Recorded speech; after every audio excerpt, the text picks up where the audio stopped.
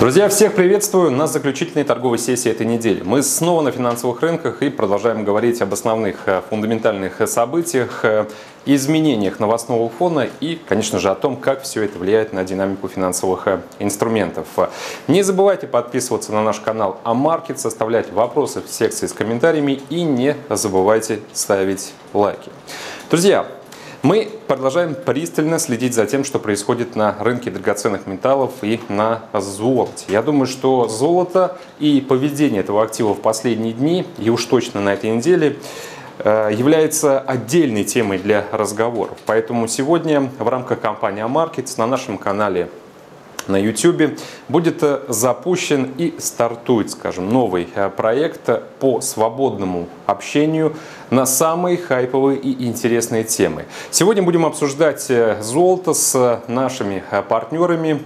Дмитрием Чугой и Глебом Задоя. Ролик появится уже ближе опять же, к концу сегодняшнего дня. Думаю, что если кому-то из вас будет интересно, точно можно будет найти время и с ним познакомиться. Ну а далее уже по а, самому контенту будем получать запросы, собирать их от вас. Какая тема лично вам будет интересна, мы ее с большим удовольствием э, разберем. Ну что ж, э, чтобы далеко не отходить от золота, в моменте, что у нас сейчас, э, я думаю, вы все сами прекрасно видите, золото продолжает восстанавливать позиции. 1951 доллар за тройскую унцию. Я думаю, что пройдет совсем немного времени, и золото снова окажется выше 2000 долларов, поэтому Еще во время, опять же, того обвала, который был в начале недели, я вас призывал, друзья, быть сейчас, опять же, более проактивными, если э, вас раньше заботила тема того, что и волновало. Вы не смогли войти в этот рынок по более привлекательным и дешевым ценам. Считайте, что возможность у вас есть. По золоту много уже было сказано с моей стороны. Сегодня еще раз с партнерами обсудим то, что происходит. Но в целом по фундаменту, я думаю, вы все прекрасно знаете. Основные движущие силы – это сохраняющаяся э, неопределенность э, в целом в мировой экономике, напряженность в отношениях э, Китая и, собственно, США и риски роста инфляции. Этот фон никуда не девается. Индекс американской валюты. Здесь мы, друзья, снижаемся. В принципе, за последний день существенных изменений в динамике не произошло, но Просто доллар стал э, дешевле, э, риск чуть подскочил. Это, в принципе, все в соответствии с нашими ожиданиями. Американская валюта снижается, поскольку очевидный тупик в переговорах по фискальным стимулам. И здесь э, очень интересная ситуация. Сейчас Доллар эм, находится под давлением этой э, темы, поскольку растет неопределенность и неизвестность того, что будет с американской экономикой. Некоторое время назад мы все-таки пришли к выводу, что э, доллар на текущем этапе явно не справляется с статусом защитного инструмента и, в принципе, оказался в категории валютного риска. Это не совсем правильная формулировка, но я думаю, что те, кто следил за э, тем, как развивался новостной фон, вы со мной согласитесь, особенно если делать акцент на прошлую динамику доллара. Сейчас американская валюта снижается из-за тупика в переговорах, потому что растет неопределенность и неизвестность того, что будет э, с экономикой дальше. Ведь э, после того, как э, был приостановлен процесс и истек срок действия программы повышенных пособий по безработице, разумеется, все обозначили проблему, а как же дальше? Что будет с потребительской активностью и со вкладом этого важнейшего компонента экономики в показатели ВВП. Все будет плохо, конечно же, если Конгресс не одумается и не примет э, новый пакет фискальных стимулов хотя бы на 1 триллион долларов.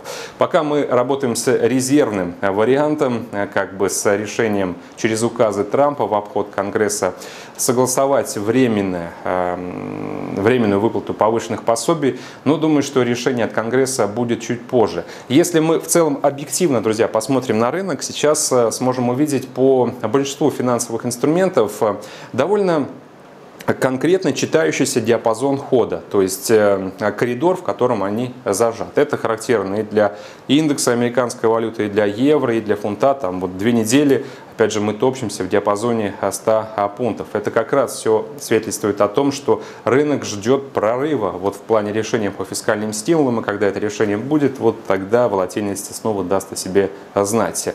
Почему я отметил, что интересная ситуация по доллару? Потому что э, вот факт обсуждения пакета фискальных стимулов и последующее принятие Все это будет иметь только одно влияние на доллар. Это э, провокация распродаж. Потому что когда пакет фискальных стимулов будет принят, э, снова мы заговорим о рисках инфляции, которые неизбежно должны приводить дополнительные вливания в экономику в денежной ликвидности.